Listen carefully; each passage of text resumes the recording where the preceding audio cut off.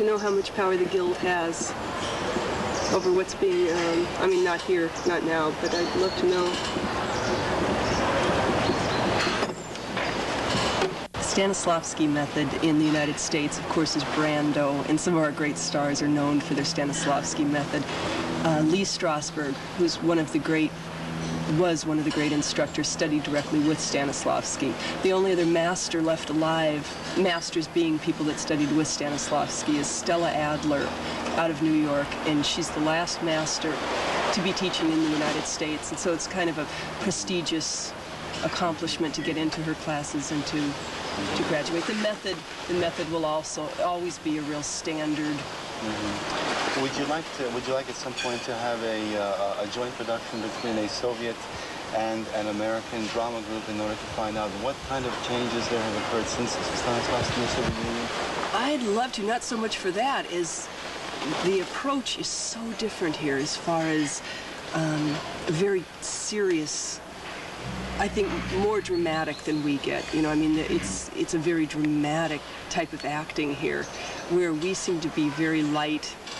Of course, I enjoy our kind of acting where we we interpret so much of the role ourselves, where I think a director here has much more power over how a role is going to be interpreted. I'd love to work with on a Soviet project just to see the difference in, in working under an extremely structured production opposed to what we believe in Hollywood is the structured. Mm -hmm, mm -hmm. Now I realize we're probably not structured at all compared to what goes on here. Mm -hmm. If, you had a chance to, uh, if you had a chance to work with the Soviet drama team, uh, what plays do you think would be interesting to try to produce jointly? I would really like to try something like Tennessee Williams, something that's really um, character-oriented and emotional and a little controversial. I mean, I'd love to see them really push through. And then, of course, I mean, I'd love to do Chekhov. I'd love to do any of their plays. It's, I would love to do Russian plays. And adapt to the Russian style of acting. I think it would be really an interesting stretch to to work as a Soviet actress. One of the differences between political satire in the United States and in the Soviet Union, in the United States it can be direct, in the Soviet Union it has to be indirect, exactly. implied.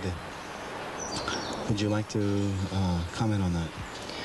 Well, I've grown up with political um, political theater in LA, and I think it's such a wonderful release. I don't. I think maybe we're pushing people too fast here. You know, I think it has to roll at a good pace. You look at the 50s and in the United States, and when people were first Lenny Bruce, and people that were getting up doing a lot of social commentary, got in a lot of trouble back then, and it had to evolve from there. I think I think maybe we're expecting too much too fast. Mm-hmm. And I think it's going to evolve. You can see that now that people are talking, there's not going to be any stopping them. You know, I mean, it's they're ready to experiment and they're ready to try new things. And I think I think it's going to be a true sense of political theater here if it evolves naturally. So, as an American actress, do you think when you come to Moscow, that you shall have to, uh, as you say, pull me a little bit in your direction? Um, I don't understand. What do you mean pull you? As far as uh, well, you were saying that uh, don't have to, we have to uh, uh, expand at our own pace, but... Um... Oh, to, to, show you, I think, I think it's all, it happens naturally. I think when people see anyone else experimenting and stretching, they automatically stretch with it. Um, your coach going beyond Stanislavski into yoga and some techniques that were virtually illegal at one point. And our leader has developed a new technique of uh, training actors, which is very efficient. Right. And it is based on the Stanislavski method mm -hmm. and on many interesting new techniques. And she has had an opportunity to watch shamans, for example, right. doing their kind of rituals. So the whole technique is so efficient that uh, our actors, non-professional ones, they uh, the professional ones don't stand out. Right. And this is what we would like to share with anyone, because this is a technique which uh, makes people um, develop their artistic qualities, not only through the theatrical means, mm -hmm. but also uh, they start singing, they start playing music, they start composing, Right. they start uh, making pictures, you know, all sorts of things. So it's the total development of a personality to its fullest extent.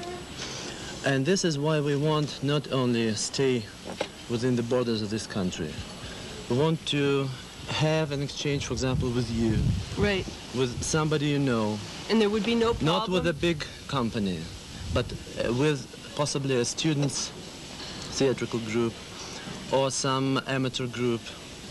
And I'm very happy we are on this peace walk because uh, we can meet so many people from so many states. Well, was it possible for your group to organize itself, say, five years ago? Uh, it would be possible to come together, but not to be on the uh, financial basis we're now on. We have What changed in the country so that you could become on this financial basis?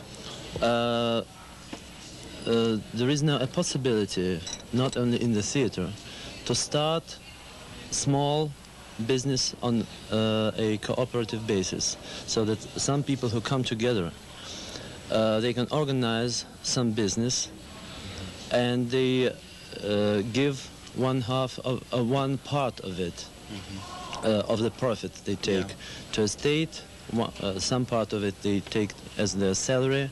So they are really masters of the whole situation.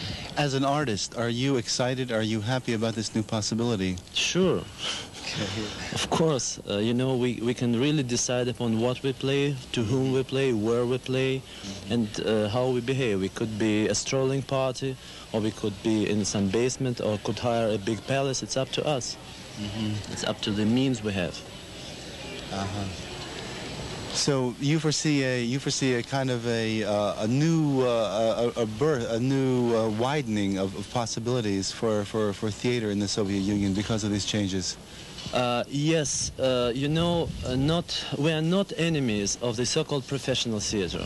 Uh-huh. It is only uh, that too many professional theaters have become encrusted, stale, because they got the salary. Yeah. They were uh, sort of, uh, well, they mm, the state Yeah. uh, had paid for them for their existence.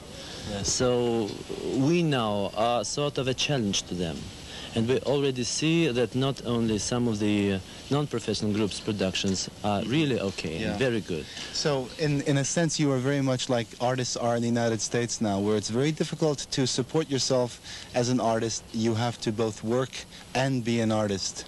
Well, uh, you can do it here, but for example, my company differs from many others in the sense that uh, all of our theaters, except for me, all the 15 there are, they have quit their jobs and stayed with the theater because they believe in our leader, they believe in the method, and we see that with uh, every new day uh, we uh, become more professional and we can reach uh, more publicity.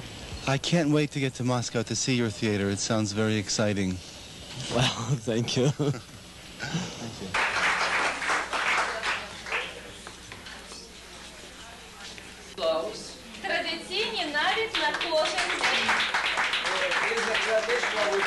Такі е, блузи, до речі, це тканина маркізет, дуже тонка, прозора, як ви бачите, тканина, прозора.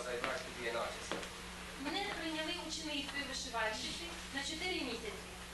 And uh, firstly, uh, I uh, was um, on uh, sort of uh, vacational courses for three months when I Я отримала щось, я вже не пам'ятаю точно, близько 60 касок. well uh, during those uh, four uh, От, е, Що ви думаєте взагалі про радянсько-американський марш миру, який зараз знаходиться в Черкасах? Я думаю, що це дуже хорошо. Побільше б таких маршрутів, чи цих, як то, маршів. Щоб люди більше могли спілкуватися один з одним, так? Да. Так то ми по телевізору вроді в нас і є такі прямі ці, ну якось не так, уже якось як ближче, так воно ближче. Маєте на увазі прямі міжнародні Да, телемости? да, да. Так воно ж не, ми не близько, ми не можемо так поговорити. А якщо вже ми рядом, так вже більше можна висловити. Що ти думаєш і показати вже можна. Все ясно. Ну, спасибі вам.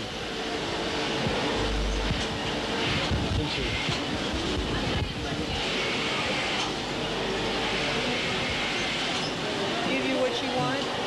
Uh, Сергій, no, Як зручно. okay, yeah, Does, yeah, does that's this fine. lady know what we're doing? Yeah. Okay. Перепрошую, чи, чи, ви, чи ви говорите українською мовою? Не поняла. Чи ви розумієте по-українськи? Вмію. Добре, мені, мені багато легше по-українськи, я- я- як по-російськи. Ця, ця пані, ця пані вона, вона з Америки, вона американка, бо хотіла вам, вам задати де- деякі питання, якщо б ви хотіли. Thank так. you. I would like to know how long you have worked in this factory. Скільки років ви вже працюєте в цій 24 года. 24 years. And uh, do you uh, do the same design every day? Чи, чи ви працюєте над, над цим, цим взором кожного дня? Ні, не кожного дня. Пододіяльники, наволочки, плаття, блузи, костюми. Actually, there's a whole series of different kinds of designs as well as as well as different uh, kinds of end products, including uh, men's blouses, women's blouses, uh, uh, em- embroidered towels. And this is all machine embroidery that you do. І всю працю, я- яку виконуєте, це є при допомозі цієї, ма- цієї машини. Да. Цієї машини, однієї. It's very same machine here. And um, how many hours a day do you work at this machine? Скільки годин в день ви працюєте над цією машиною? Скільки год? Так. Вот это 5, 5 лет вот это. Пять. У нас, нас меняли. У нас были 22 класс, а потом поменяли вот на эти машины. Ну, вони такі самі, похожі, по вишивки. Ну, это более-менее, ну, як би вам сказати, скосні, скось більше. Швидкость. Ага. Швидкость. They, they used to work uh, a lot many hours, but now that they have these machines, they are able to accomplish the same work much, much faster. Uh, how long is her work day? Скільки, год... скільки часів, скільки годин в день ви працюєте в фабриці? Восемь. Восемь. Eight hours. And uh, do you have a, children at home? Чи, чи ви маєте дітей у фабриці? Немає дітей, немає. Ми вдвоєм з чоловіком.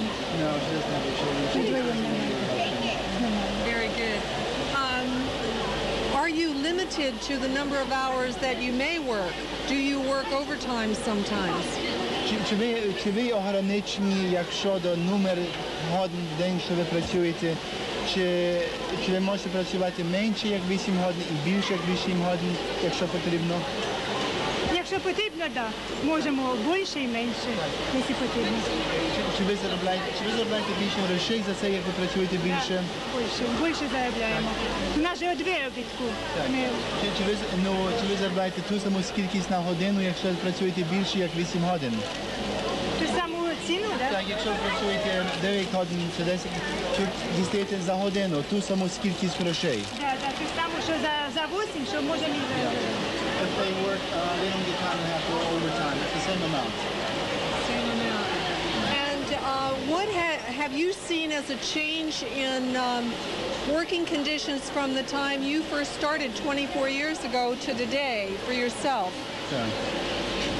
За, ті 24 роки, що ви працюєте в цій фабриці, чи ви бачили якісь зміни в, взагалі в обстановленні праці тут? Чи, чи, чи більше вигідно працювати? Які зміни ви бачили?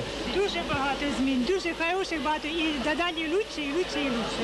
We've seen many, many great changes, and always, always getting better and better and better. Would you like a detail, maybe? Yes. Чи, чи могли би сказати більше конкретно, які зміни були за останні 24 роки в праці? Ну які зміни? Ну от у нас нова фабрика построїлася.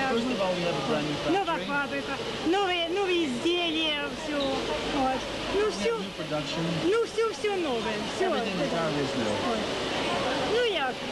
Більше, більше стали зарабатывать. От, більше, більше ізділля, більше всього лучшого у нас. Более quality of our work is getting better because and it's just a lot happier to work now than it used to be. Well, I'd like to say that it's uh, very, very pleasant working conditions, I think, with uh, the surroundings of all the greenery. Um, everybody seems to be happy in here. Так, я, я, я, я сказала би, що, що тут, тут, тут мусить бути дуже приємно працювати, бо тут стільки зеленю є і стільки світла, що я, я на, на, на мою думку, тут було дуже приємне місце працювати. Я не поняла, понімаєте? Сказала, що тут стільки зелені.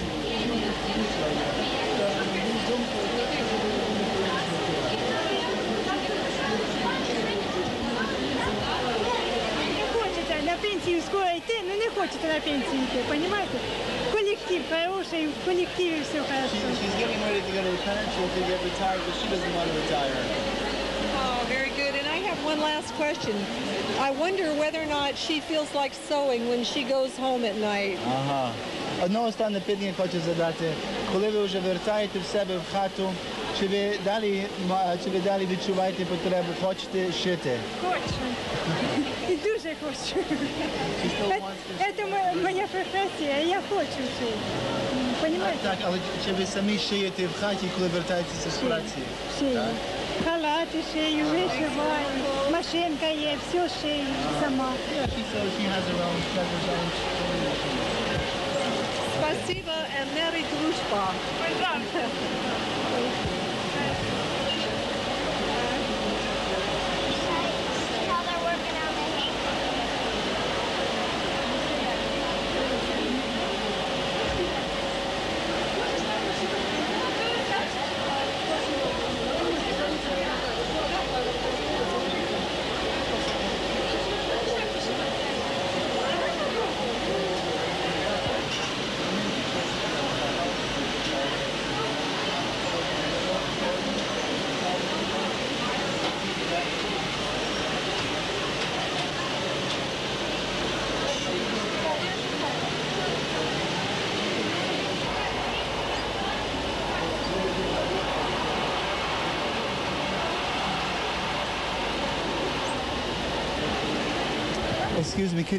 Чи ви можете мені сказати, я, а, скажите, скажите, пожалуйста, скажите, по- пожалуйста, если вам здесь это нашили сейчас или как? Да, это мне сделали, вот работница фабрики мне вышила. Когда? Сейчас только что. Ну, как красиво. А? Покажите нам. Спасибо.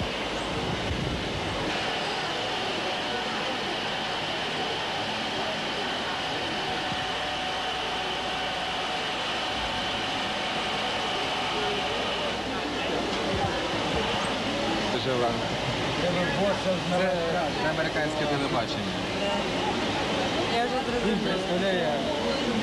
I've been looking for an excuse to go to the Soviet Union ever since, um,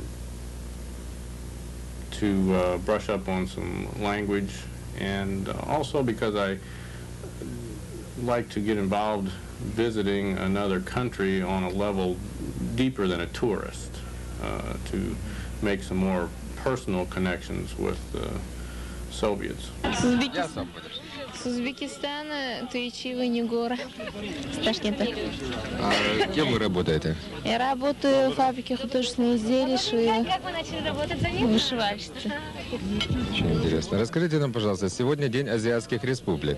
Now, my vocabulary is uh, a bit more technical than conversational, but uh, I, I, of course, can read uh, signs or uh, Yeah. recognize the alphabet and, Sure, and so- some limited conversation. And You, you'll find your way. The men say one of the one of the best ways to learn a language is to get a girlfriend, and just because that's nice and uh, if that opportunity comes up, do you think you'd take it? uh, you know, that's an interesting question about uh, having a girlfriend. Я приехала из Ташкента, меня зовут Негора, я студентка и работаю э, в фабрике художественных изделий, учусь э, в Народно-хозяйственном институте в третьем курсе. I've had uh, experiences uh, making acquaintances, shall we say, in uh, other uh, European countries, and uh, it works quite well with uh, uh, to have a, a social evening and uh, get acquainted with the culture and uh, at least one of the citizens. Апло обязательно, обязательно будет. Без этого у нас не, во- не обойдетесь. Спасибо вам. Citizen diplomacy at its best. It's, Okay. If uh, if you were stuck with Mr. Gorbachev in the elevator, what would you like to ask him? You know, I'd like to ask Mr. Gorbachev, uh, s- the, in his very um, private moments, you know, when when he's just before you fall asleep at night, or or when he's out walking in the woods or something, uh, what is that deepest motivation for him right now at, at this point? Is uh, is he uh, destined to be a, a, a historical figure? Uh, is there any ego motivation there? Uh, does he have compassion for the uh, people of the country? Uh, does he want to be a world uh, figure? I, I'm interested in, in what's motivating his own personal drive right now to uh, institute such massive changes. Uh, and, and if those are for humanitarian reasons,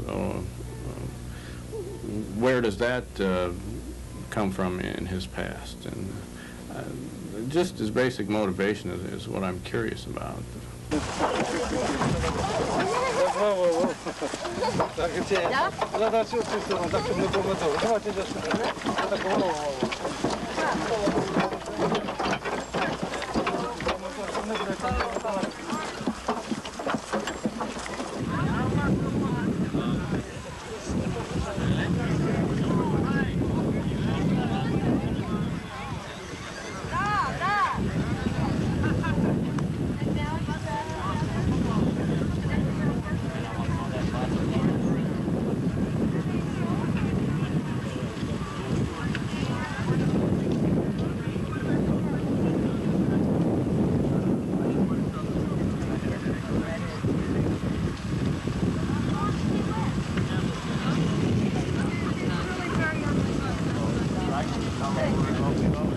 Hey, Daddy, we move over here now. There's lots more. Well, then go over there.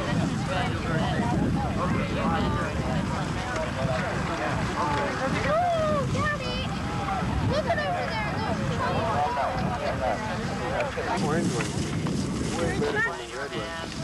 There's much more orange ones and red ones and small ones and big ones.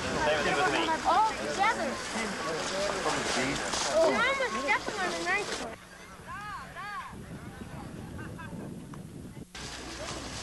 Look at those mom having another box now.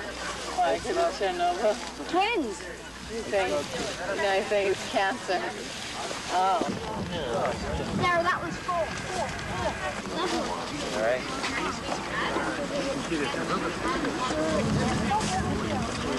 We should go with a little plastic. Да, можно сейчас сюда. Если отойдешь сюда, посыпем. Хорошо,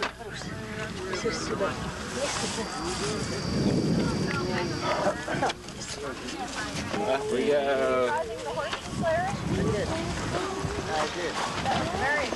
Okay. Let's get it up on top. Got it? Mm, Away oh, we go. All right.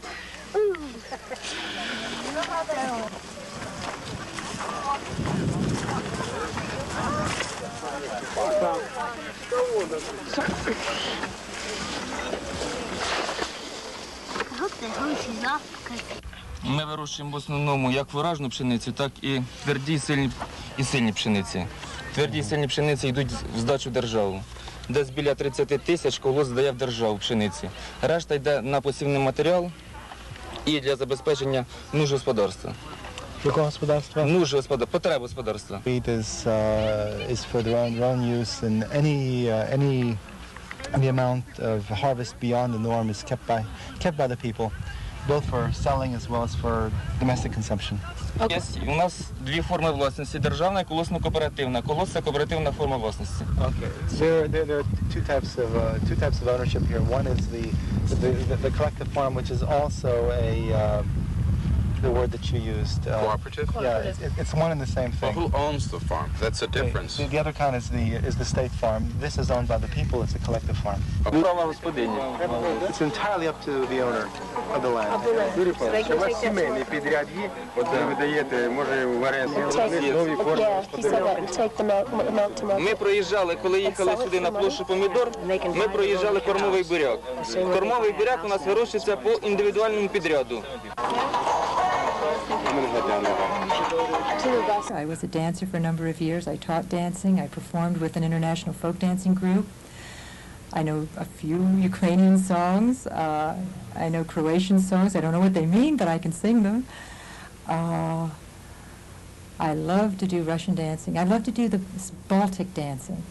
Uh, Bulgarian, Yugoslavian, Romanian. There's a lot of stamping and a lot of flashing of hands and yipping and yelling. And um, I'm really excited about dancing and singing with you, with Soviets, with Ukrainians in particular.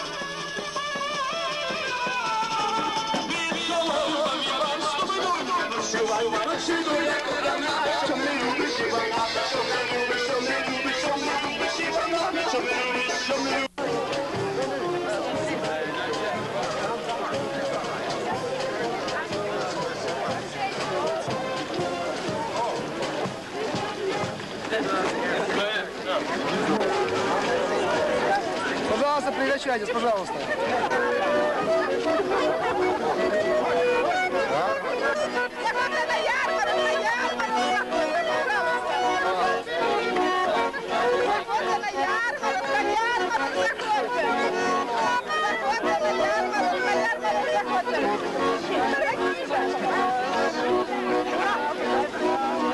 Ha ha ha.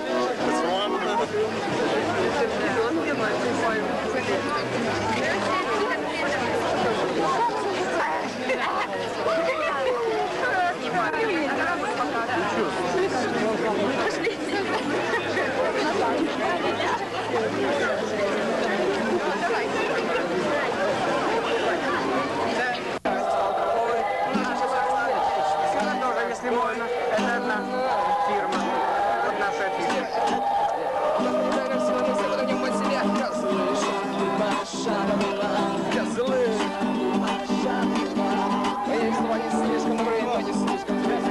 грязные. Погрязшие в сухой броне, завязанные узлы.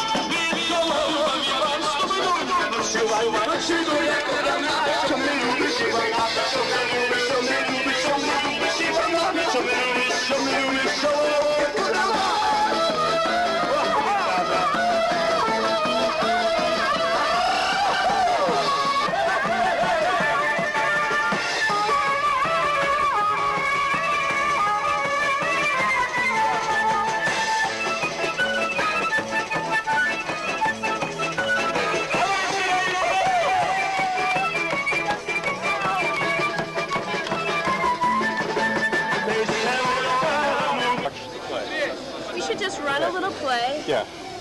Here, what? You you want to? All right. God, I tried to talk. You gotta be the other way. Come on. Yes, I did. You want to be quarterback? You want me? Okay. Okay, why don't we get Uh, you can quarterback this time. I don't care. What do you want to do? Quarterback. Come here, Pooh. And then we'll hit doesn't you right there. Let's just go. Okay? Then we go like this. Wait, wait, wait, wait, wait. Then we go like Yes, this. yes. Hey! There, you got it. Right?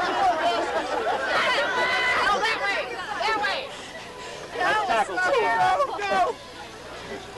Go! Right. Здесь нет ничего, да? А вон там, а кто большие? Можно было или что Смотри, какая это цветочек.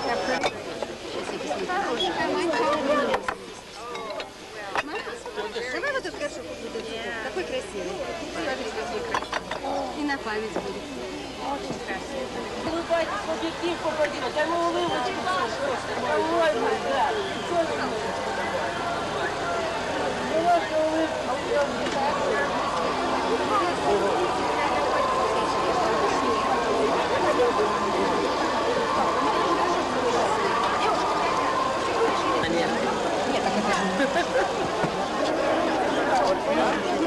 Или просто давайте Сашенька, деньги бегите рубли. расписывайте. Це справа миру. Підходьте. Давайте, уйдите, не мешайте Підходьте, будь другим ласка. подходить, Хто если хоче вы не купити? хотите. Підходьте. Покупайте помидоры за мир. Подходите. Покупайте Солдаты, помидоры. кто тоже за мир? Подходите. Покупайте Пожалуйста. Три килограмма. Сумку давай. Не на пам'ять, перчатки пardon. Візьми, будь ласка. Не можна. Візьми, візьми. Спасибо. Спасибо. Э, здесь. Да-да-да. Підходьте. Станете по радіо Помидоры мира. We don't charge an extra. No extra charge on a double. Будь ласка. Будь ласка. Help me. Now the Russians are watching us and, and they want our material things and they call us materialistic. And I, there's this funny little thing I think going on with them of being afraid to getting caught up like we've gotten caught up. Maybe they can learn from us, from all of us who have had the experience of being in a materialistic society, of how we're starting to learn how to to live with it uh, I was going to trying to figure out a way of, of asking uh, as I got to know the Soviets as we share together our who we are and what we're all about. One of the biggest questions in my my heart has been how are they viewing the world spiritually now? Uh, are they more orthodox? Are they similar to the Americans? The, the Americans are now going through a huge transition of wanting to know, understand God and the universe.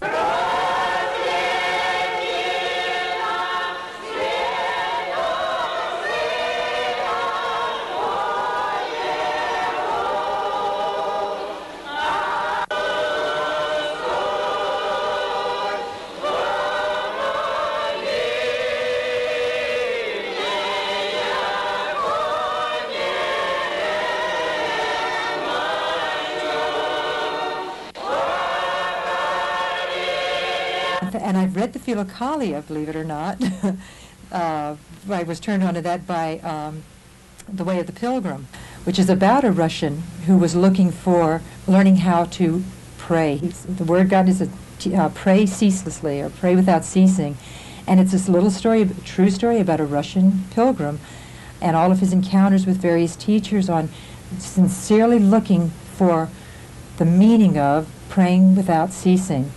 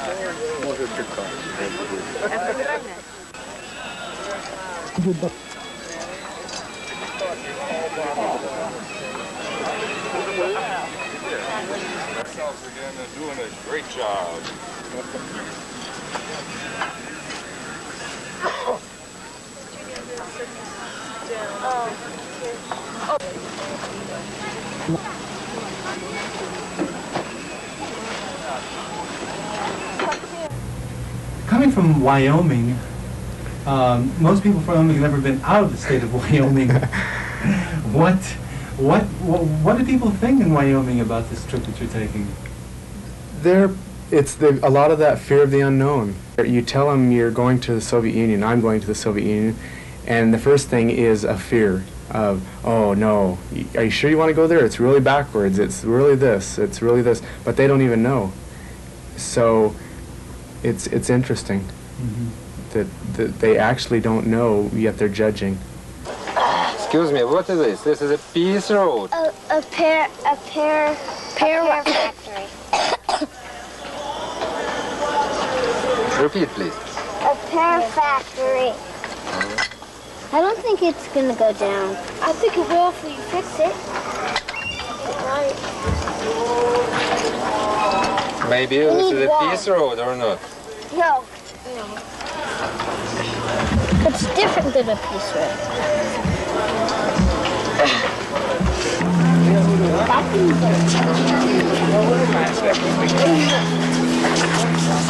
Oh!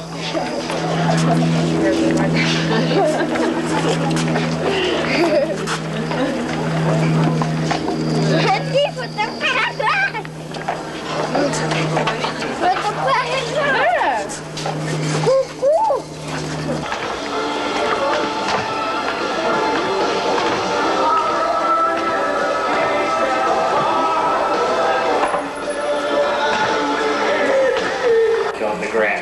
tie-dye was yesterday.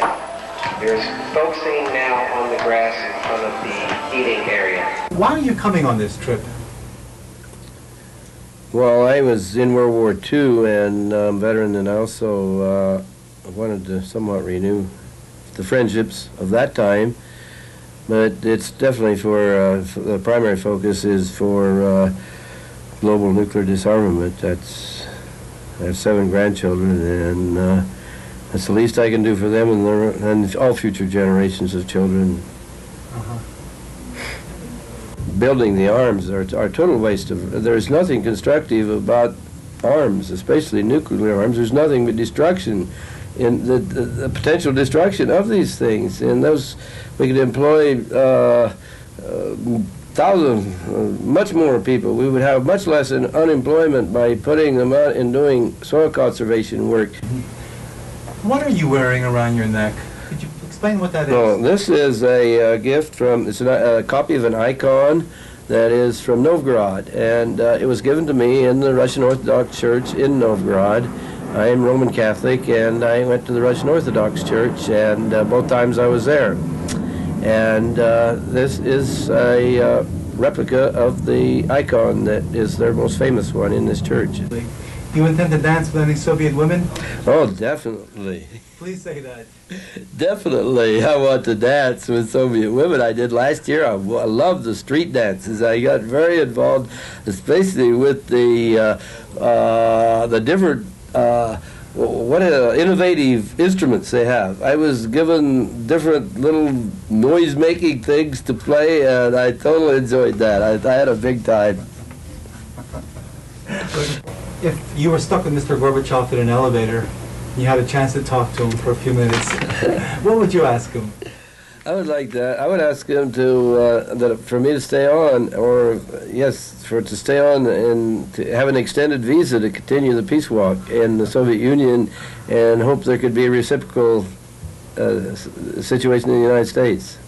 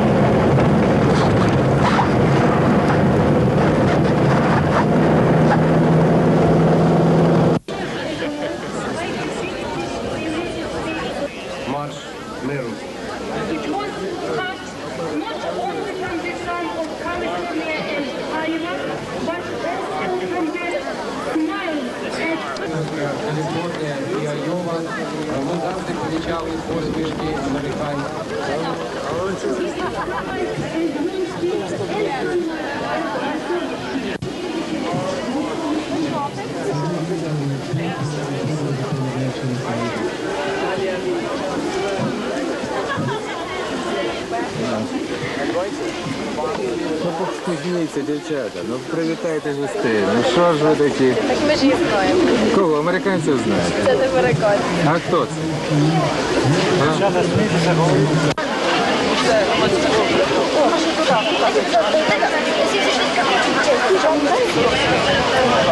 Дайте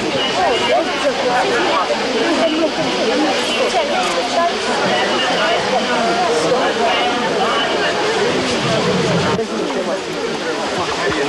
календарика.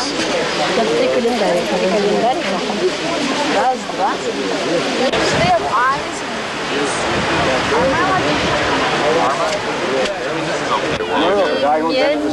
Steve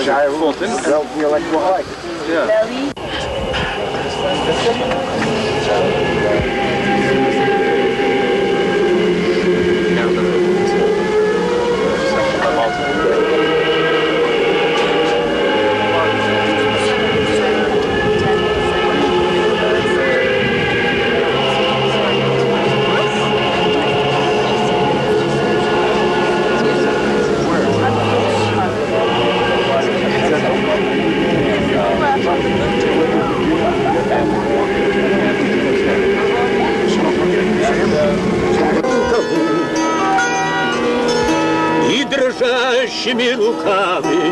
У султана напряму, поміж різними катами і послав свою страну.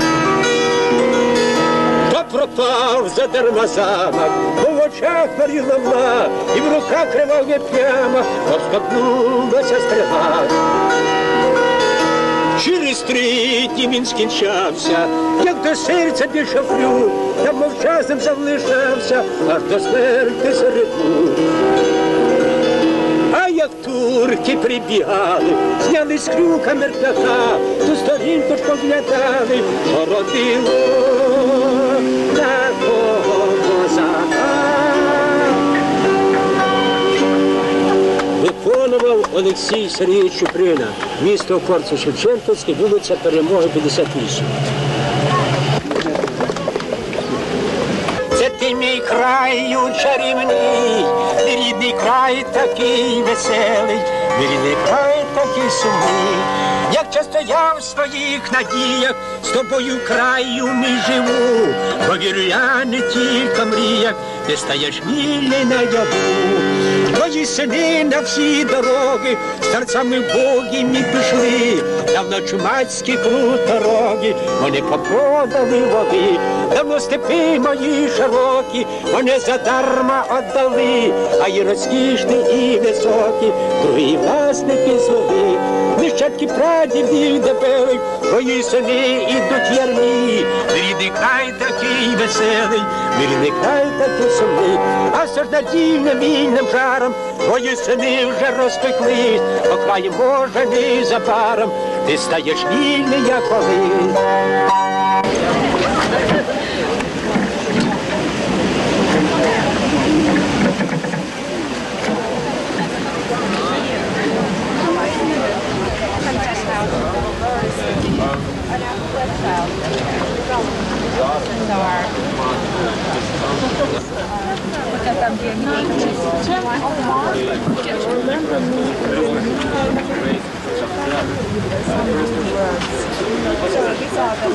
I done with me in my beloved Ukraine.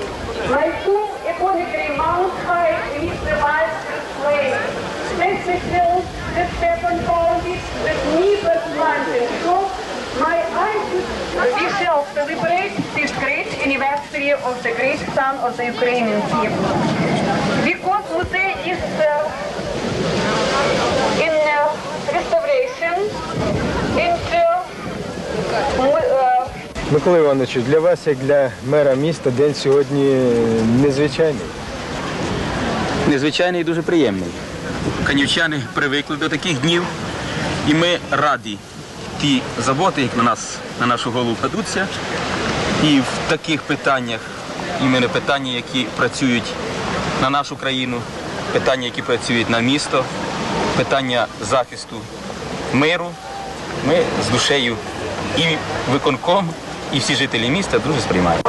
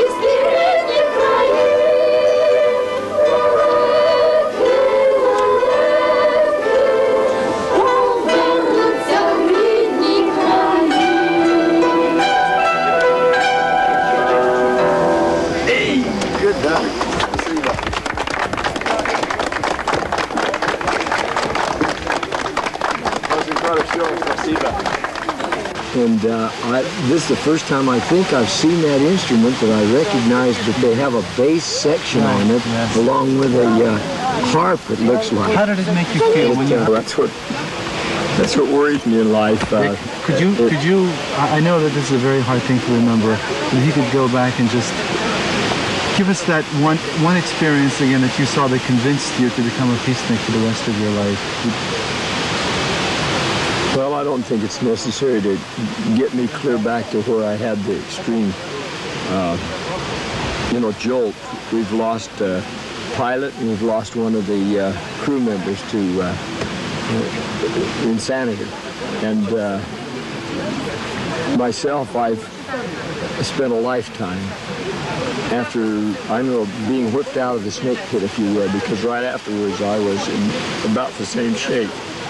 And you can't imagine the kids, the school kids sucked against the wall just grated, grated off of it.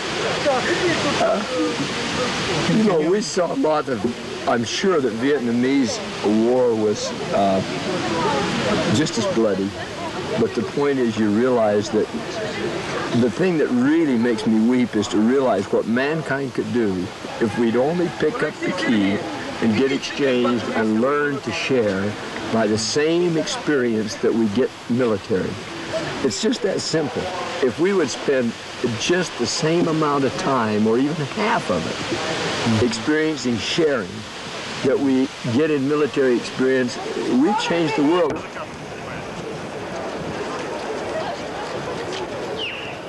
Коляк, уйди! Коляк, уйди оттуда! Great Jewish writer, something like 1897, 1904.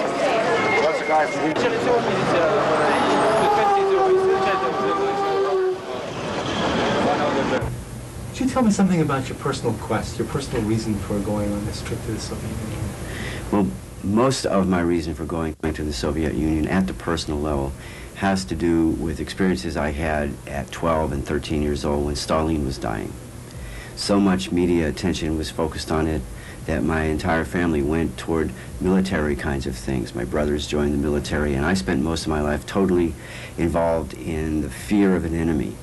And my personal reason for being on this trip is to do through a ritual journey some purgation, some cleansing of the enemy image in my own mind because it's affected my entire life. In media, I've seen hundreds of people involved in wanting to really find out but being unable to because of a sort of mental conditioning by the profession that says you have to be objective when in fact we know we can't. So I'm voluntarily stepping out of an objective role, immersing myself in a situation and coming up with personal answers which I hope then I can put into uh, media pieces that will allow people to at least think there is a possibility for trust, there is a possibility for cooperation, rather than move along the strictly cynical lines of observing a historical process that we don't understand as Americans and the Soviets don't understand as Soviets about the American process. But I do know that they're in one place where we've been before. At our 85th year or so, we had a civil war and they're involved in a civil transformation at this point. And I think personal observation is the only way to report, and I'm, i want to do it that way rather than go there with opinions. I want to go there with a receptive mind, which is very hard for journalists to do. Mm-hmm. We get questions, but we very rarely get answers. Well, what I see coming up in terms of potential is an opportunity for the billions upon billions of dollars that have been spent by both governments on military preparedness and military defense or offense, a shift of the priorities where that money will be spent towards where we find hotspots all over the world. These are the results of the game that has been played between these two countries putting that money into the eradication of disease, to the inoculation of all the world's children could be done in half of half of a year's time when you consider 940 billion dollars are spent every single year by both by all the countries in the world on military things. So what I see as a possibility is something like a Marshall Plan, but on a planetary scale with the United States, the Soviet Union, and any other country as equal partners in creating a world of richness rather than poverty. Еще, еще, еще, еще, еще. По кругу, по кругу.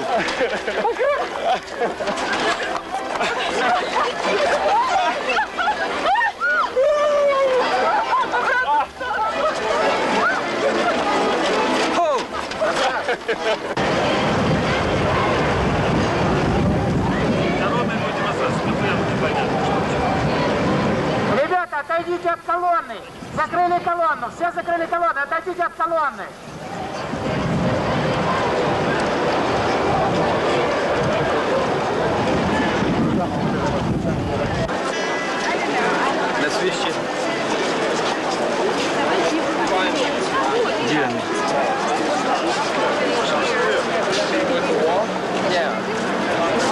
Якщо це дане, ага,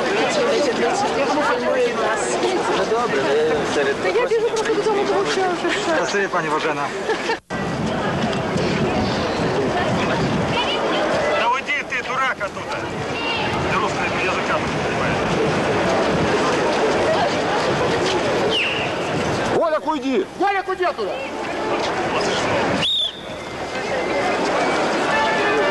Ребята, все на звук пишется.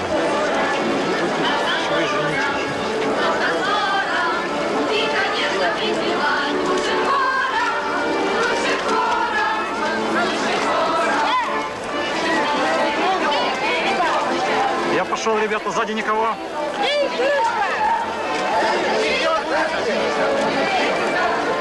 Стой,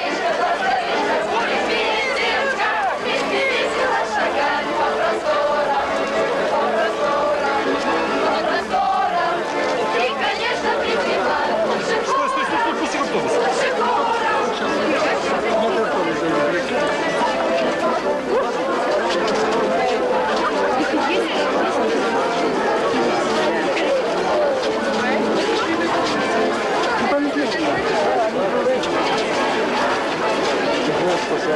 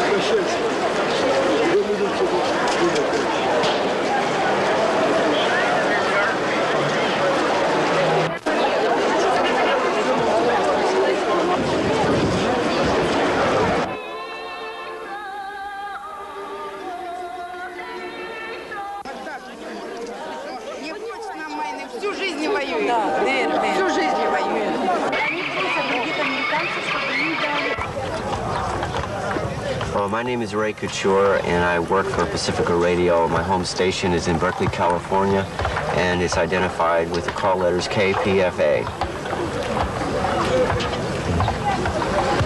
Меня зовут Нина, фамилия Рыкова. Я работаю в редакции областной молодежной газеты города Донецка, Комсомолец Донбасса, за Вадимом Попаденко.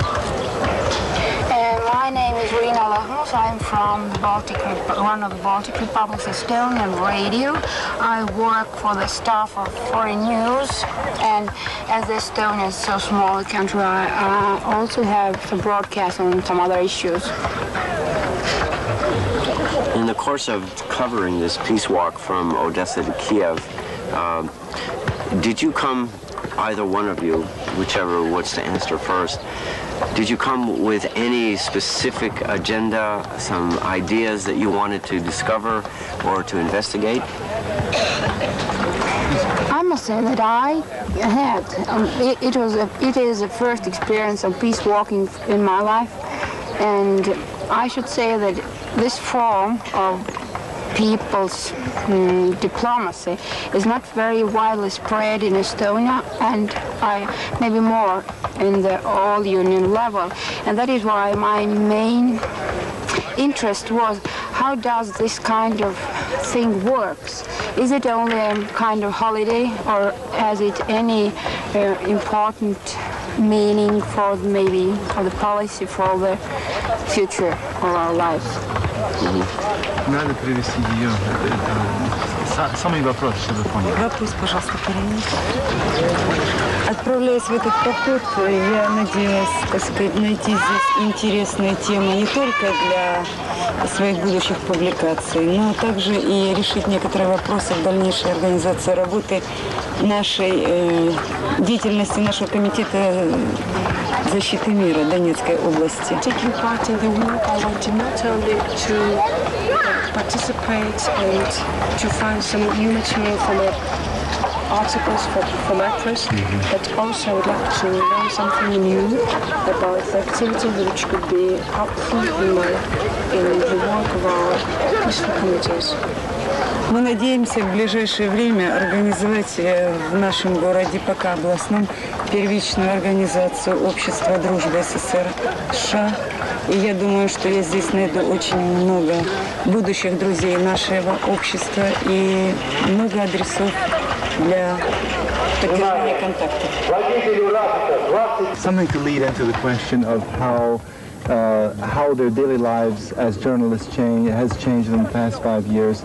Um, you know, uh, has has the whole business of broadcast meant that uh, they have a different route through which they go before before they before their, their articles are published. Um, whether or not they have more freedom to choose the kind of subject. So interested in, in the question of uh, the freedom of the press in the Soviet Union because of the fact that uh, in the West we have two different points of view concerning that. Uh, some in the West believe we have a free press and some believe ours is controlled by commercial interests. And I wonder, since uh, Gorbachev has uh, instituted and promoted the uh, agenda of perestroika, have you noticed over the past uh, few years, maybe four, maybe five years, any changes in the procedures that are allowed the, the uh, radio and print and television media in this country, or does it remain the same? And if so, uh, how is it the same? Anyone first? Um, I must um, express two things. As I work for the foreign, foreign issues staff, there hasn't been too much change because as we are Republican Radio express the main trends of the uh, foreign policy of the Soviet Union and we don't lead our own, purely own, my personal or Estonian um, opinions about the policy. We, we we keep the line as it is an official policy of foreign policy of the Soviet Union. But what is changed during this five, maybe less, three years for the Estonian radio, this matter, mm, we in somehow mm, give some different opinions, more different opinions, more the opinions of mm, that oppose the so. mm, The official line?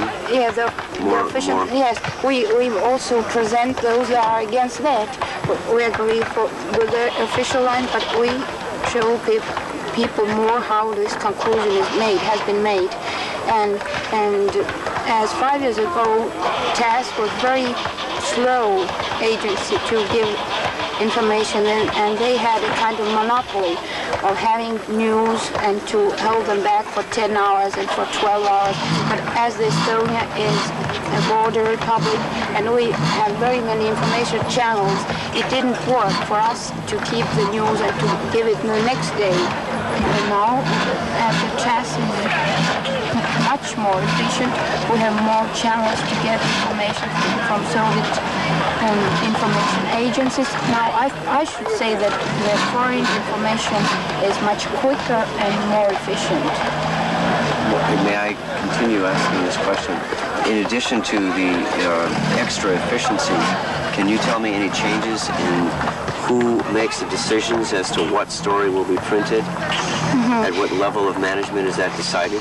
Yes, but here I, I would like to uh, switch in some a g- more general view on the Estonian press or the Republican press, not dealing only with the foreign news, because um, I should say that within these five years there have been tremendous changes for myself in the themes that we can cover on our internal matters. It was unbelievable to talk very, very, I think, uh, aching points or something. Is it the, the word? I don't know. There are controversial there, issues Yes, there were there now- were themes that we could never touch upon our newspaper and the radio, but now we are absolutely free. It's upon your own own interest and your own valuation what themes uh, you choose, and even I have been encouraged by my um, staff leaders to find something that is not too smooth. Go out, find out what's the matter, what's behind that, and to to bring very strong criticism. And it's to my mind, it has even some controversy um, effect because now we are only now we try only to find some bad things. So Let, let me interrupt for a second. Yeah. Which which of the two which of the two ways of working, the way you worked five years ago or the way you work now, which do you find more challenging to you as a journalist? Oh, um, the reputation of being a journalist has is the most is the main thing that has changed.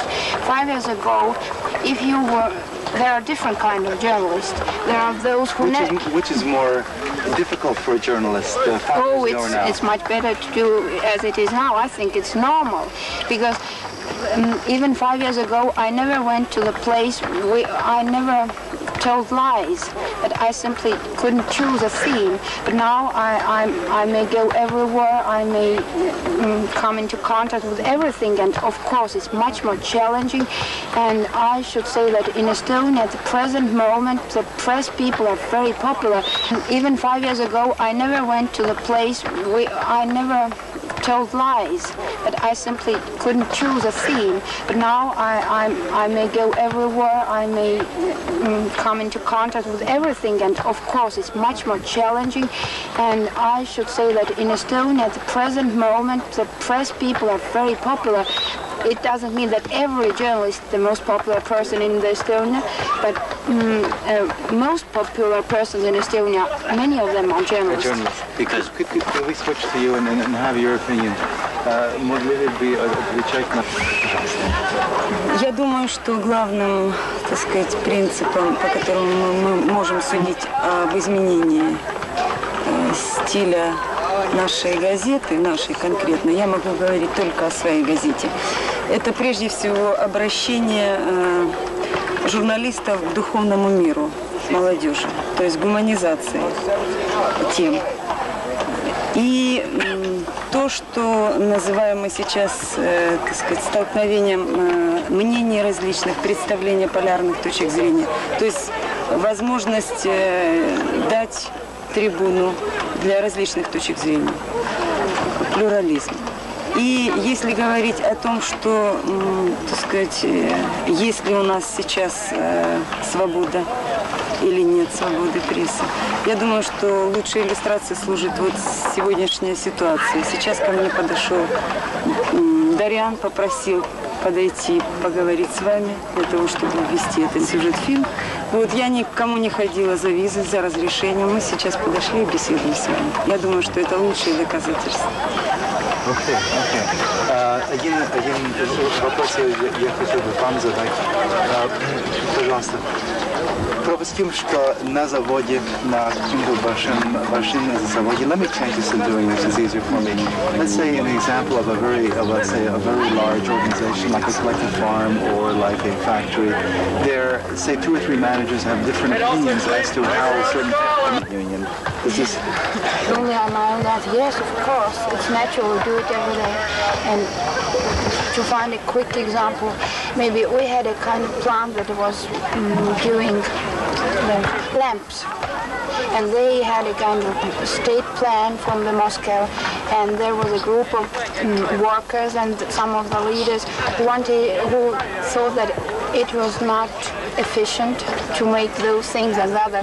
It is pure technological problem, and there were very serious trouble within this factory.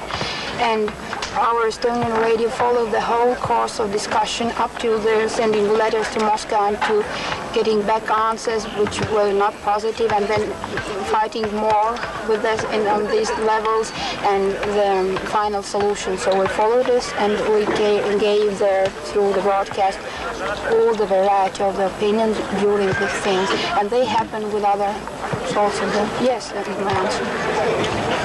that is, that is faced by the world and, of course, also by the Soviet Union is the issue of the uh, production of nuclear energy. And I wonder if any changes have occurred within the field of journalism with regard to the freedom to express various opinions concerning nuclear energy in this country, print media, radio media, television, or is it still something that you must be very careful about in terms of what you say? Um, I, should I should give the example that the whole world knows. It's a Chernobyl example. When it happened, there was not too much talk about in the press, and I, I think it was even incorrect. Some of the information that was delivered all over in our republic, all over, uh, and that we got through the central media, it was incorrect. And on the basis of this exa- example, we can, to, to answer this question, maybe I'll take the most dramatic example that happened with the nuclear power in the Soviet Union. It was the Chernobyl accident. And I should say that when it happened, we didn't get too much good, valid information about what was going on. And uh, uh, mm, half of it is due to press and half of it is that we, people didn't, couldn't grasp the whole um, thing of that. But now uh, we have, well, I may say that the press and our understanding has grown together with understanding of this nuclear power in the whole, and now we can find our press very different and um, mm, opinions about those nu- nuclear power mm, things. And uh, for to give example about the Estonian press we have uh, translated very many Ukrainian authors who were banned at the moment when it happened but now they had come out and they're very very strong and very difficult things to say, and we got them through our Estonian press also. But still, I think that it is the thing that should be discussed even more openly that we do it by now. That's my answer. Thank you.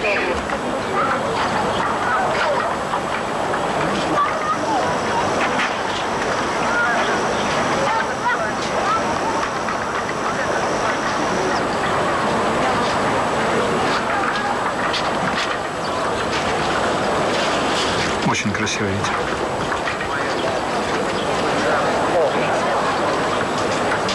Виктор, это ваше?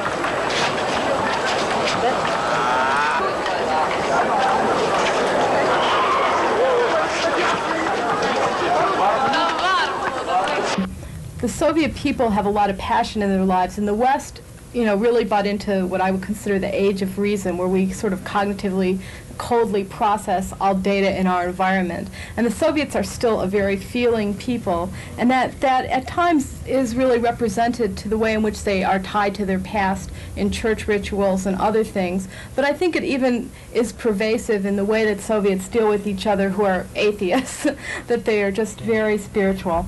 I guess uh, what I would love to talk to Gorbachev about probably has very little to do with politics. I'd like to talk with him about what kinds of books, like if he had to, I would ask him a question. I would say, Mr. Gorbachev, if you were going to the moon and never coming back to Earth, what would be the five books that you would take with you from Russian literature, Soviet literature, and then the five books that you take um, from foreign foreign literature? I'd really like to, to discuss cultural things with him. Okay. Uh, are you interested at all in, uh, in uh, clinical psychology in the Soviet Union?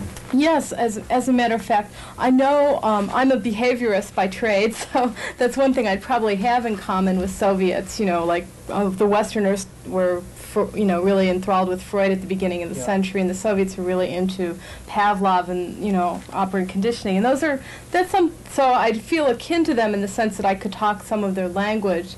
Um, I know that psychology doesn't have a lot going on there, like there's not a lot of therapy or services available for people there. Most of their treatment of psychological disorders is medical.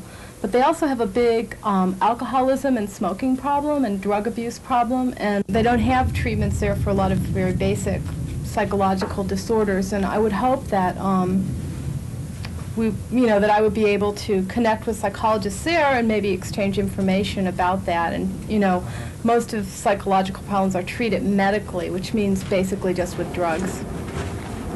Далі мене вортить в носі, так би сказати, сказати. Мушу брати аспірин і безпечно. То ви до лікаря прийшли? Ходімте. Пішли.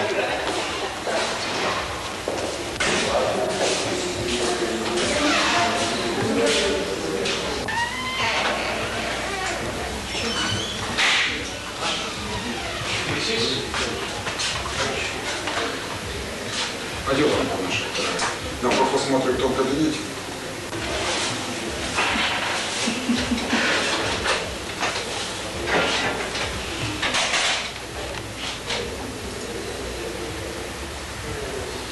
Это в течение месяца, да? Да, три недели. Ну,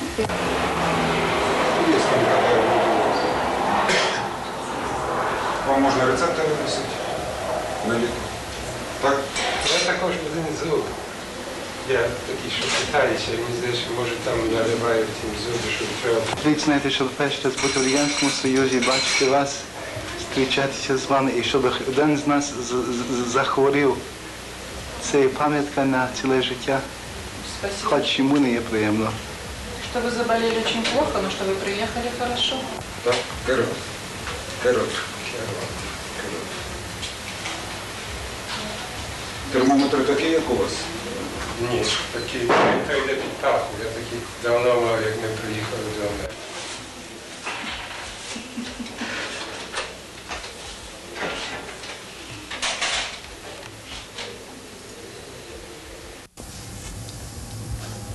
Ні, тут є катар у вас. Звичайний катар. Випишемо ліки, нічого серйозного немає. Їм все мішалося, як Україна, Росія, Совєт Юніон, то саме все. Тепер довідуюся, що то є велика і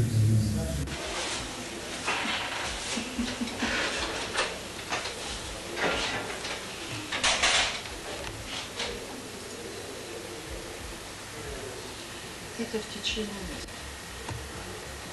месяца. Сіми вважається температура нормальною. Так що страшного нічого немає. Потрібно буде поприймати оці ліки, значить, полоскання, полоскання для горла. Так. Можна содою. Чайна ложка соди на стакан кипяченої води і тричі в день полоскати. Соду можна взяти у себе в медпункті. Там у вас є сода. Звичайно, кілька разів, кілька днів. І таблетки наші. Радянці вважає, що тут немає нічого у вас, і вам його видаляти не треба, не потрібно. Це центральний зуб, він вам ще потрібний буде. Він лікований у вас, шатається, випарення. чую, як він рухається. Да. В голові так вже так е, е, віб- vibration, вібрація. Вібрація, да, стоматологом, тому що ми вам не дамо тут. Я не, Рекомендації. не думав, що це не варто. То маєте до стоматолога з зубом. Так, вам потрібно туди звернутися до нього, він вам порадить. А що я вам винен за, за, за, за, за, ті, е, за ту обслугу? Нічого, у нас медицина безплатна. Правда? Так, так.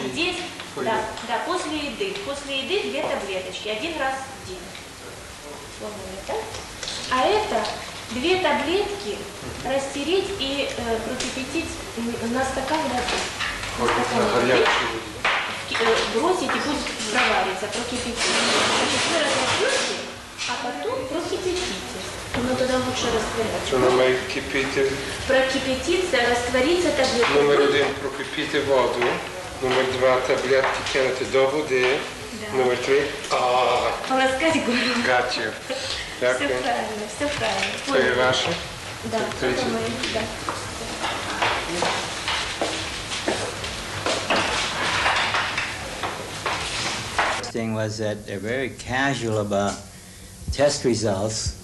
Because this morning, uh, this other young man that was here came by and says, "Well, at least you don't have cancer." And I said, "That's a funny joke, you know." And he says, "No." I said, "What are you talking about?" He says, "They didn't find anything significant in your tests on uh, Saturday." So I said, "Well, I thought they were coming by on Monday morning on their rounds to tell me." And he says, well, that's what one of the doctors told him. So then this girl, Tanya, comes around, and I was quite concerned. I said, what's going on? Can you find out what's, what the test uh, results are? She comes back and she says, it's inconclusive, but uh, so far the biopsies show that you do not have cancer. So I asked her, is it very common to uh, discuss a uh, diagnosis like cancer so openly? She says, oh, we're very honest in this country. But they're so casual about it, you know. And you- in in the states, you mention the word cancer, and you know it's a very frightening thing. And it's, of course, it's been in the back of my mind all along that this could be one of the problems for me. And uh, they still haven't found anything. And I haven't, you know, gotten in touch with my family because of the reason that I thought it might be a, you know, major medical problem. care you take? About what? The kind of care Well, I, I think that the uh, medical care here is excellent. Uh, maybe they are not up in uh, medical technique, techno- technology as in the States. They do not have the equipment. Uh, they do not have uh, a lot of things that we have in the States. But uh, this is more than compensated for by the fact that the doctors are very, very concerned. You rarely get in the States doctors, I mean, whole teams of doctors being so concerned. And, uh, and, when, and one, one uh, day they were having a rounds, and some visitors came in. So they sent the rounds. You would never see that in the States. I mean, they would say out, and they would never share their findings until they were pretty sure, and they would give you the general overall reassurance. Don't worry, don't worry. And sometimes, you know, you worry more if they tell you don't worry. Uh, but, and the nurses, uh, I thought were very gruff at the beginning. You know, they're very strict. And they were giving me all kinds of shots I can hardly move. And I didn't know what they were for, whether it was antibiotic or, or to uh, help me sleep or what. And so finally I asked Tanya, I said, go ask the nurses what these shots are for. They come around. If I wanted something else to eat, they would make sure that I got it. Technique is concerned, I have no idea, you know, making a comparison, although I think probably American, you know, medicine is probably on a higher technical level, but uh, they, they don't give up easily. They just keep, you know, coming around, coming around, and it ended up they were bringing, have, then uh, they'll be sure, you know, they had me examined very closely. So that's, you know, very reassuring. Inferior to the Japanese one. so you still got the injection. But, uh, you know, other than things like that, I mean, it's, they're, they're uh, very accommodating. And, uh, you know, it's little things that make, make it so awkward. Like you get a barium enema or a uh, enema of some sort. And you know these toilets here, they, no seats on them or anything, no paper. You know, and I'm dying, and I want paper, I want paper. And they don't know what I'm talking about. You know, and uh, no, no, no, you, you gotta go. And they make me sit on a little stand like this. They give me the barium. To run over the toilet in one room. The other, one place I had to go about 50 feet to find a toilet. And no paper. So I had a, uh, I happened to have a copy of uh, Ray's Pravda, so I used it. And then when I came back, I said, Ray, I'm sorry, I used your newspaper. And he got so upset because there was an article about the peace walk in it that he was saving. I said, I'm sorry, but there wasn't anything else I could do about it. So then Tanya comes in, and I explained, I said, is there some way you can get Ray that uh, you know, newspaper. So she went to a lot of trouble. She went all around. She finally came back and she got him a copy of it. But you know, things like that, it's different. So, no place to shower. They tell you, no, no place to shower. And so then after I had my barium, the lady comes around, says shower. I didn't know what she was talking about, so she said yes. Oh yes, my thermometer under the arm, like that. And so then she says, uh, there is a place for showering. She took me around the other room over there. How are you feeling today? Well, today I'm not feeling too well. It's uh, I've uh, tried to this uh, towel thing to pull myself up, and every morning the nurse comes, not the nurse but the attendant, and she takes it all away, puts clean ones there, so I have to somehow get up and do another one Now today, I think they finally got the point because they don't uh, they don't take it off anymore. But the beds are so high for me. They normal, and you look at their face. 36, 3 нормально. Normal. Норма, 36. проблемы,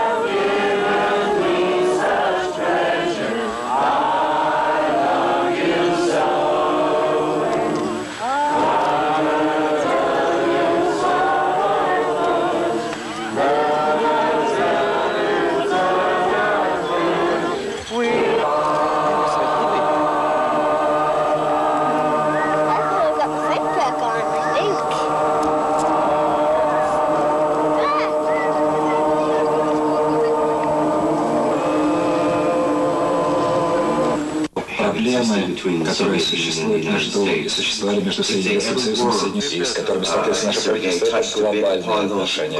Сергей немножко поговорил о этих очень важных пунктах, когда он говорил о химическом загрязнении окружающей среды, которые могут от Настоящая проблема заключается в том, что мир сейчас идет к уровню супертехнологического уровня. An enormous tragedy. And the difference in our budget has largely been the difference in our military expenditures. Our military budget doubled and our national deficit skyrocketed. The Soviet Union has roughly, you can choose to stop spending that money on your armaments and start spending it to meet our social needs. That's what we try to point out with the walk, that we have a chance. The walk is also a symbol of the prospects. Instead of simply making a demonstration, we're showing here for the first time in a very concrete format that Americans and Soviets can live together. That's a statement. Paula Kubakiyev would like to address that, please. И рад тому, что я принимал в нем участие. Это огромное событие в моей жизни. Кстати, мне исполнилось 36 лет э, именно почти в середине этого марша. Happy birthday? Да, и даже по русскому обычаю меня 36 раз брали за уши. Это, так сказать, не так приятно, но тоже знаменательно. Вот. И потом, кстати, у одного из участников нашего похода родился сын в эти дни.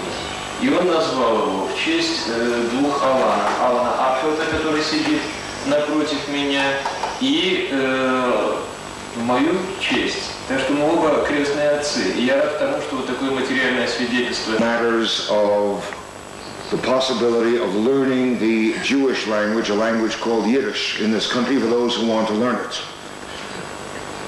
Someone said that in one town, Berdichev, which is very famous in Jewish history, they're talking of opening a school to be taught in that language. People out there called the Altai, they're not very forward. We wanted to revive their culture, so we just started a group that is reviving their culture and their language. Why don't Soviet Jews do the same thing? One Soviet participant after another said, of course, that's the way it ought to be done. Now, what that represented to me was an amazing change in psychology.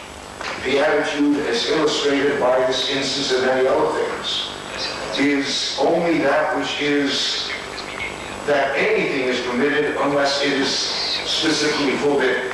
And showed the attitude of taking initiative, self-starting. One observation. The second thing, because unfortunately, due to the economic differences, there is still a tendency to look down our noses.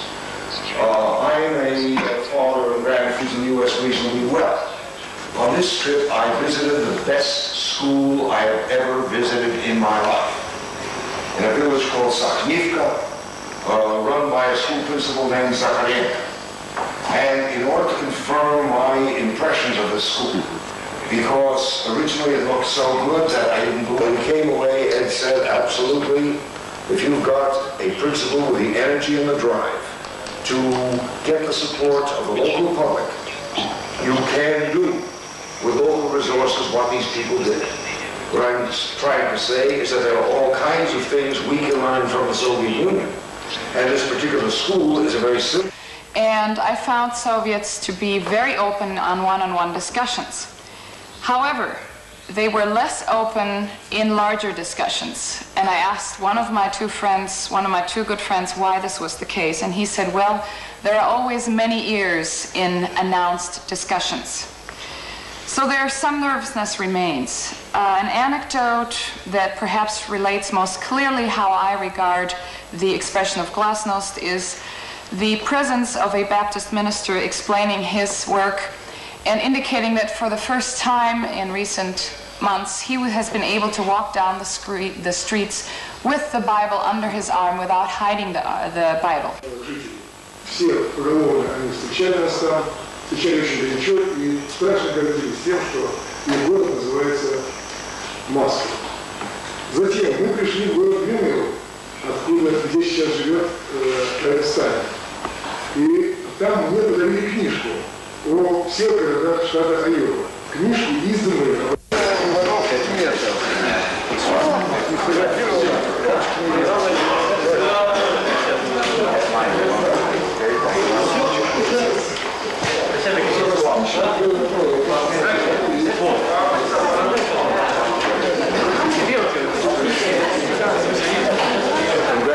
Ray. Ray did harder work on this than anybody else.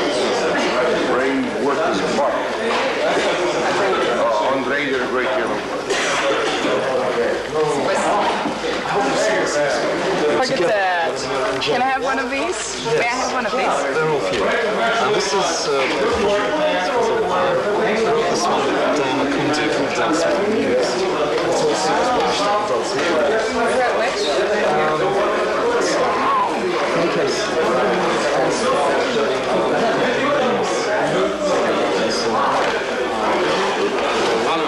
Will you get some of this too?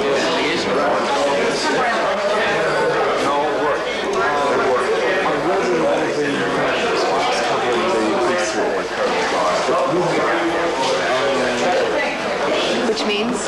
Which means that we travel with the American exhibit around the Soviet Union, doing simultaneous all the information you send. When they need us, they take And then they they take it back to the United States press. Well, Well, yes, yeah, maybe. We've got some press coverage there. Oh, good. I know, but actually. Here's Igor, thank you. Oh, Hey, it's like this? Yeah. Like this? Yeah. And then like this? Okay. And then... an overriding curiosity in the Soviet Union, particularly the Ukraine. You know, you read and you've heard so much about the Ukraine uh, ever since I was a lad, I guess. Uh, it's a marvelous opportunity.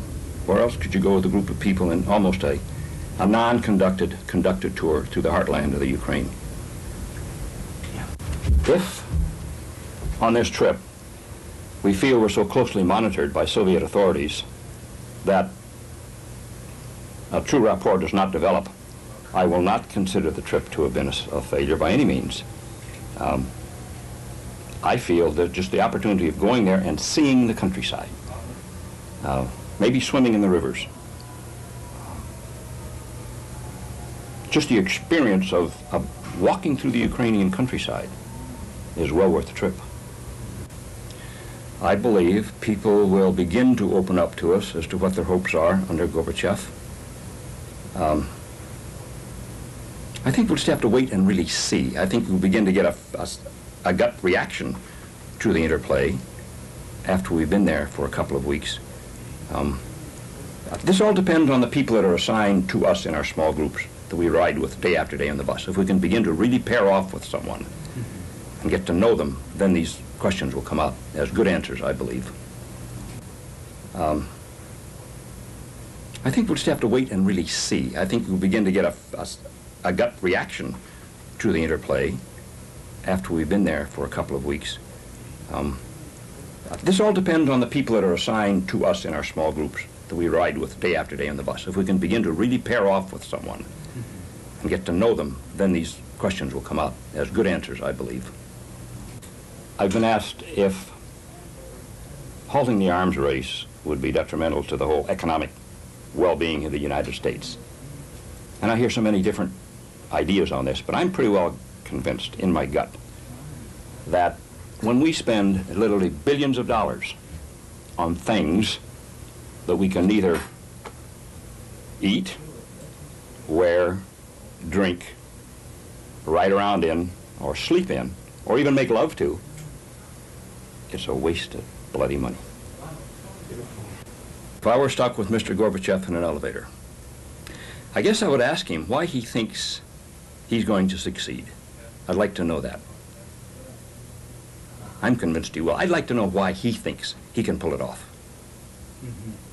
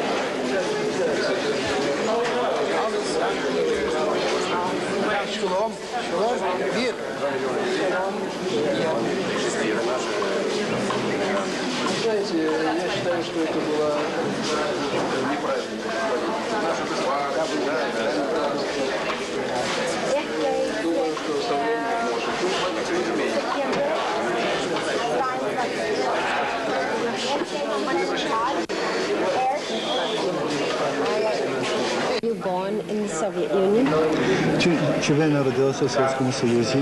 Я родился в Киеве. Was born in Kiev. Киев. You're born in Kiev. Я родился в 1899 году. Мне 89 лет. He was born in 1898. Я участник с 18 года по восстановлению советской власти на Украине. That's about the time that my mother was born, and she was born in the Ukraine. My mother. Мо- Моя мама родилася в в- Родилась на Украине. Мама. Yes, she came to Той the самий United. рік. She, she came to the United States when she was three years old. І, і мама приїхала в Америку, коли була мала три роки.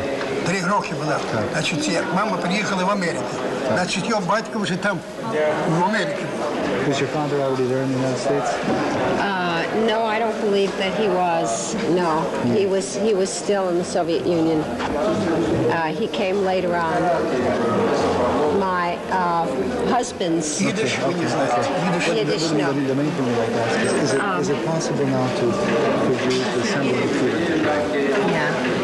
I understand that, that you were in the in the Great Я War. не понимаю, вы передайте мне тогда по-украински, You потому что я не you понимаю. fought you fought for Kiev in the Second World War. Is Так, that? чи це і правда, що, що ви боролися під час Другої світової війни, ви боролися і е, з- защитували Київ? Я защищал Киев. Кстати, за оборону Киева я це получил. За оборону Киева. Can we see the medal for having, having defended Kiev? You feel very proud of what you did to defend your city. Чи, чи ви чуєте дуже горді тим, що, що ви Я захищали горжусь тем, что я защищал Киев. And there were many Jews who fought uh, with you uh, for the defense of their city. Чи було багато євреїв, які боролися разом з вами? Очень много евреев было. Евреев было партизанов, тоже евреи. There were a lot of Jews, also the Jews and the partisans.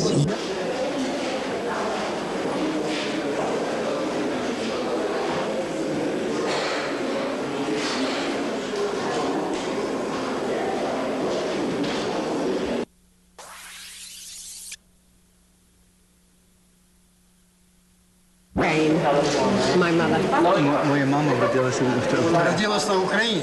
Мама. Yes, she came to Той the самий United. рік. She, she came to the United States when she was three years old. І, і мама приїхала в Америку, коли була мала три роки. Три роки була. Значить, як мама приїхала в Америку. Значить, його батько вже там, в Америці. Was your father already there in the United States? No, I don't believe that he was. No, mm. he was he was still in the Soviet Union. Uh, he came later on. My uh, husband's Yiddish, okay, okay, okay. Yiddish, Yiddish, no. The, main thing like is, it, um, is it possible now to produce? Yeah. I understand that, that you were in the in the Great Я War. не понимаю, вы передайте мне тогда по-украински, You потому что я не you понимаю. fought you fought for Kiev in the Second World War. Is Так, that? чи це і правда, що, що ви боролися під час Другої світової війни, ви боролися і е, з- защитували Київ? Я защищал Киев. Кстати, за оборону Киева я це получил. За оборону Киева. Can we see the medal for having, having defended Kiev? You feel very proud of what you did to defend your city. Чи, чи ви чуєте дуже горді тим, що, що ви Я захищали горжусь тем, что я защищал Киев. And there were many Jews who fought uh, with you uh, for the defense of their city. Чи було багато євреїв, які боролися разом з вами? Очень много евреев было. Евреев было партизанов, тоже евреи. There were a lot of Jews, also the Jews and the partisans. Standing at the monument at Babi Yar in Kiev where over 100,000 people were massacred when the Germans took the city over in September of 1941. At least 70,000 were Jews. Nobody knows exactly. People were herded here. Uh, they were told to bring their belongings. They were told to that they were going to be moved elsewhere. They were told that if they did not come, they would be shot. They filled the rather huge avenue that leads to this place. They came here and they were simply shot and thrown upon each other. In addition to the 70,000 or so Jews, about 30,000 Ukrainians, Red Army soldiers, officers were also killed here. This place first became famous in a certain sense when Eugene Yevgeny Yevtushenko, a Soviet poet wrote a poem called Badmiar Pamjikinyat. There is no monument to Babi Yar. This was roughly 19, or middle 1960s. It was not until 1976 that this monument was erected. It is very moving, it is very powerful. There is still a controversy over the fact that no specific mention is made of the fact it was the place of the killing of Jews. It says 100,000 Soviet citizens were killed here by the Nazis. A perfectly true statement. However, I was very favorably impressed by the fact that as we came here this morning, uh, the Soviet guide, the city tourist guide, was very specific both in English and in Russian because with us were the Russians traveling with us about the details and the specific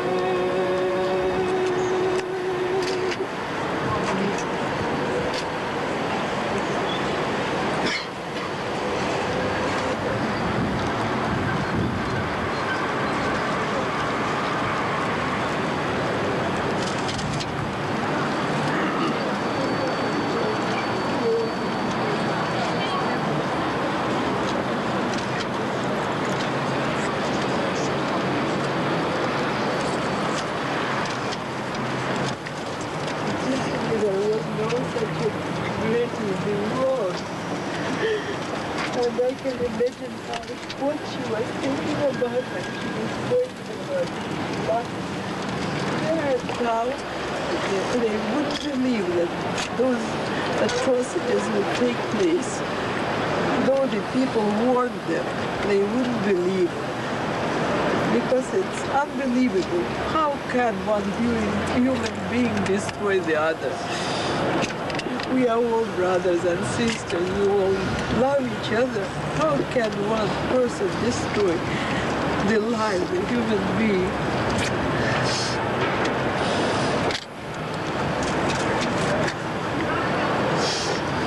I wish you people never know such a grief and will may our children and our grandchildren be happy and live under the happy sky, under the blue sky. May they be happy, all of you, all your children and all of your grandchildren.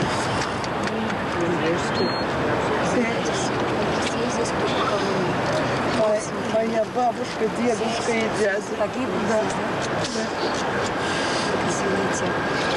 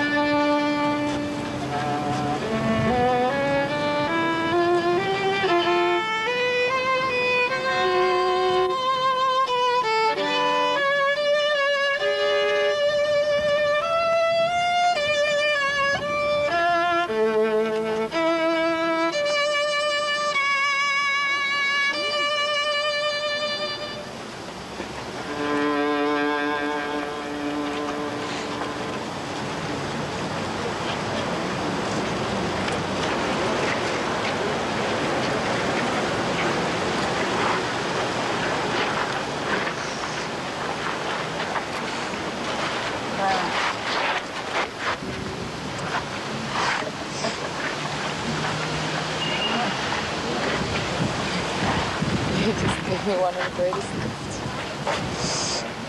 So,